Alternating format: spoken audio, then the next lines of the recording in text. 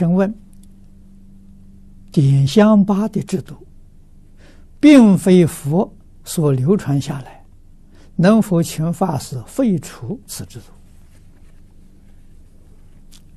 这个制度是祖师建立的，我要废除，会遭我们佛门最大的忌讳，啊，我就变成大家的公敌了。啊，所以这个事情不是一个人的事情，这个事情要怎么？要请求佛教会啊。那么在中国啊，中国的时候，国家佛教协会你提出来啊，他会邀请我们国内一些高僧大德共同来开会议定。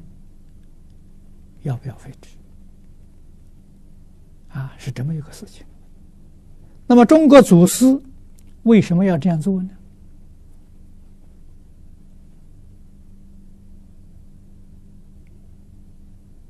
啊，这个不是否定的。啊，中国祖师这样做，用意啊很深，用意非常好。佛在经教里面讲了很多次，啊，菩萨了，为一切众生舍身，啊，这样。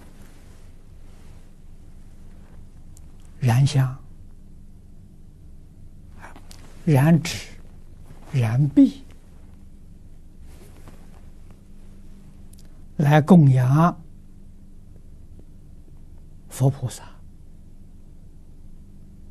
来布施一切众生啊！这个经佛在经上讲很多啊。那么我们只有十个指头，只有两个手，帮助众生呢是要靠靠手臂的。两个手还要把它烧掉，你怎么能够帮助众生？观世音菩萨帮助众生，现两个手不够，现什么呢？现千手千眼。啊，我们只有这一点，还要把它烧掉吗？啊，所以你要晓得，佛说这个用意不是叫你真的烧掉。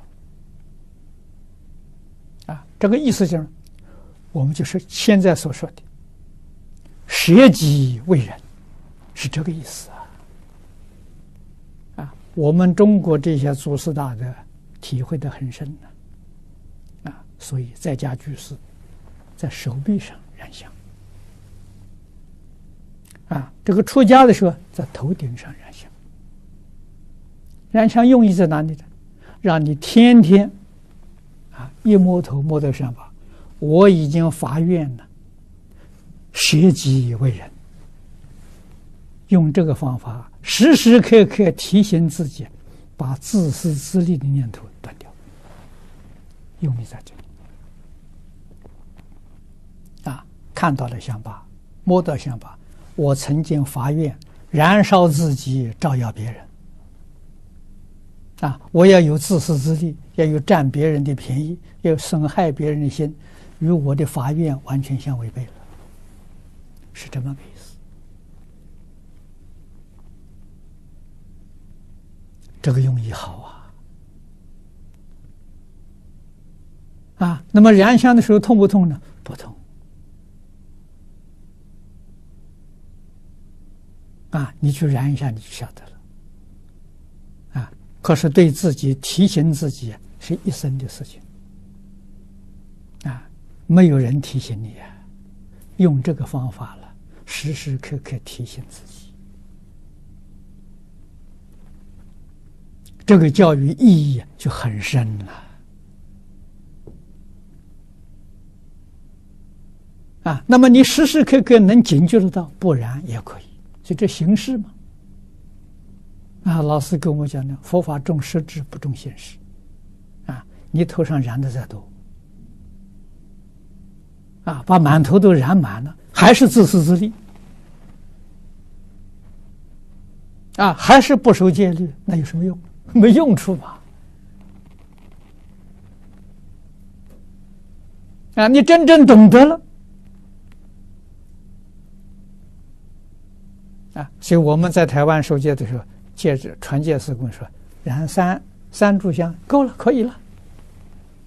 啊，让你时时刻刻提醒自己就行。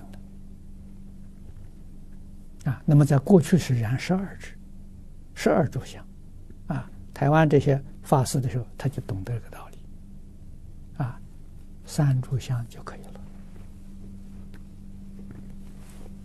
啊，这是我们了解祖师这么做法的用意。